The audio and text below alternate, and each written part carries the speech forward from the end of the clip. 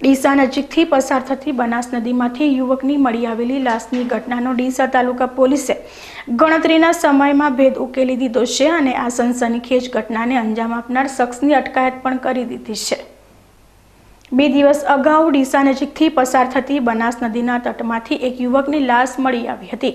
આ લાશને જોતા પ્રાથમિક તબક્કે તેની હત્યા કરવામાં આવી હોવાનું સ્પષ્ટ જણાઈ રહ્યું હતું.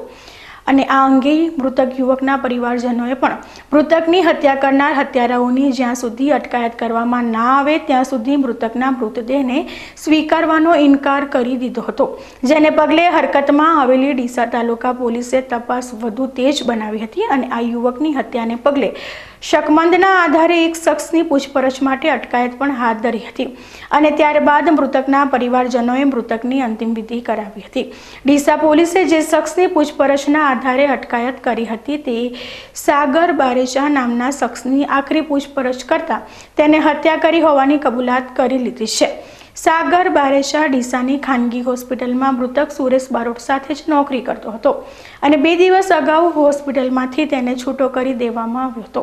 સાગરને છૂટો કરવામાં આવતા સાગરને થયું હતું કે સુરેશ બારોટે તેના વિરુદ્ધ હોસ્પિટલના તબીબને ફરિયાદો કરી હોવાને લીધે તેને છૂટો કરવામાં આવ્યો છે.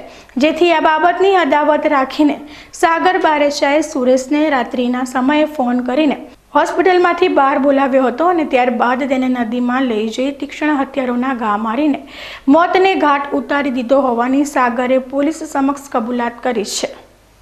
આ સનસનીખેજ હત્યાનો ભેદ ગણતરીના સમયગાળામાં ડીસા તાલુકા પોલીસે ઉકેલીને આરોપીની પણ અટકાયત કરી દીધી છે અને તેને કોર્ટમાં રજૂ કરી રિમાન્ડ મેળવવાની તજવીજ હાથ ધરી છે.